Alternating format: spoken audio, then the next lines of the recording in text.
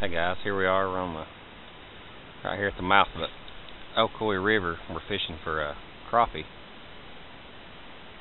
It's uh, cloudy, overcast, rain, cold. I'm trying out the new Lake Fork crappie jigs, and I've been impressed so far. I made the. I mean, it's typical. It's hard to get a crappie to bite in this area this time of year, but I've made I think four casts and I caught one keeper crappie right off the bat. And the only problem I found is on the second little hit I got it tore the jig in half and at about three dollars and a quarter a pack. Could get it a little expensive. That's about the only gripe I've got.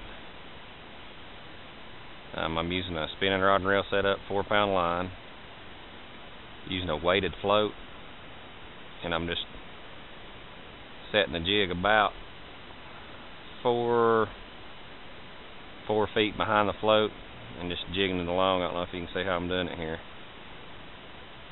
Just easing it along, waiting on the waiting on the hit here. Another thing about the Lake Fork jigs is they're a little bit bigger than I'd usually like on a crappie jig. And uh, I don't know if you noticed, I got a hit right off the bat about as soon as I threw it into the water and I'm afraid it's broke the lure in half again and I'm about to have to go put another one on. I'm easing it up here. But I always reel it all the way in this area here because it's deep water all the way up to the bank. Now we got the full jig there. Here's the color I'm using.